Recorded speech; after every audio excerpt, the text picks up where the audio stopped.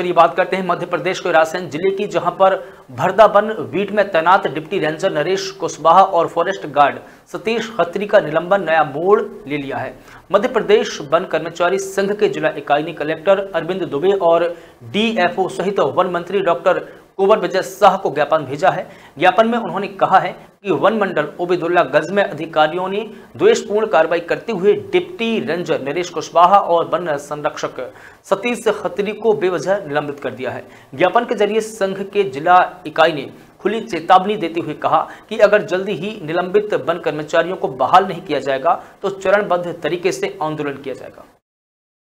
परिषद चिलवा के दो वन कर्मचारी हैं डिप्टी रेंजर नरेश कुशवाहा और वन रक्षक सतीश खत्री, जिनको अकारण निलंबित कर दी, जबकि 50 वर्षों से वह राजस्व की भूमि उस पर खेती होती आ रही थी, लेकिन उसको वन विभाग में बताकर। एस रेंजर ने साजिश करके इनको हटाने का काफ़ी दिन से प्रयास कर रहे थे, एक दिन में दो ट्रांसफ़र उनके कराए, और जब ट्रांसफ़र में वो स्टे ले आए तो उसके विरोध में षडयंत्र करके उनको निलंबित कराया, इसके विरोध में हम ज्ञापन दे रहे हैं।